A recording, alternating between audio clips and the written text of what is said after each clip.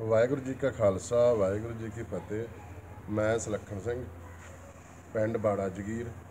ਮੇਰੀ ਵਾਈਫ ਜਸਵਿੰਦਰ ਕੌਰ, ਜੋ ਕਿ ਸਰਬਸੰਮਤੀ ਦੇ ਨਾਲ ਅੱਜ ਸਰਪੰਚ ਚੁਣੀ ਗਈ ਆ। ਸਾਨੂੰ ਪਿੰਡ ਤੇ ਬਹੁਤ ਮਾਣ ਹੈ। ਜਿਨ੍ਹਾਂ ਨੇ ਸਾਨੂੰ ਅੱਗੇ ਲਿਆ ਕੇ ਇਹ ਮਾਣ ਬਖਸ਼ਿਆ। ਮੈਂ ਚਾਹੂੰਗਾ ਕਿ ਆਉਣ ਵਾਲਾ ਸਮਾਂ ਜੋ ਵੀ ਹੋਊਗਾ, ਜੋ ਨਗਰ ਸਾਨੂੰ ਅਧੂਰੇ ਕੰਮ ਪਿੰਡ ਦੇ ਪਏ ਆ ਜਾਂ ਸਭ ਤੋਂ ਵੱਡਾ ਮੁੱਦਾ ਸਾਡਾ ਪਿੰਡ ਦਾ ਛੱਪੜ ਦਾ ਹੈਗਾ ਵਾ। ਇਹੋ ਜਿਹੇ ਮੁੱਦੇ ਜਿਹੜੇ ਆ ਦੋ ਜ਼ਿਲ੍ਹਿਆਂ ਦਾ ਛੱਪੜ ਪੈਂਦਾ ਇਹ, ਜਲੰਧਰ, ਕਪੂਰਥਲੇ ਦਾ। ਤੇ ਕੋਸ਼ਿਸ਼ ਕਰਾਂਗੇ ਰਲ ਮਿਲ ਕੇ ਉਹਨਾਂ ਦੇ ਨਾਲ ਪਹਿਲਾਂ ਇਹ ਜਿਹੜਾ ਗੰਦਗੀ ਜਾਂ ਪ੍ਰਦੂਸ਼ਣ, ਅਸੀਂ ਇਹਨੂੰ ਸਵਾਰੀਏ। ਦੂਸਰਾ ਹੋਰ ਹੈ ਛੋਟੇ ਛੋਟੇ ਕੰਮ ਜਿ- ਜਿੱਦਾਂ ਜਿੱਦਾਂ ਜਿੱਦਾਂ ਪਿੰਡ ਦੇ ਸਹਿਯੋਗ ਦੇਣਗੇ, ਗਵਰਨਮੈਂਟ ਸਹਿਯੋਗ ਦਊਗੀ, ਗਰੰਟਾਂ ਆਉਣਗੀਆਂ ਉਦਾਂ ਉਦਾਂ ਅਸੀਂ ਪਿੰਡ ਦਾ ਵਿਕਾਸ ਕਰਾਵਾਂਗੇ। ਦੂਸਰਾ, ਪਹਿਲਾਂ ਮੈਂ 26 ਸਾਲ ਨੌਕਰੀ ਕਰਕੇ ਫੌਜ ਦੀ ਆਇਆ।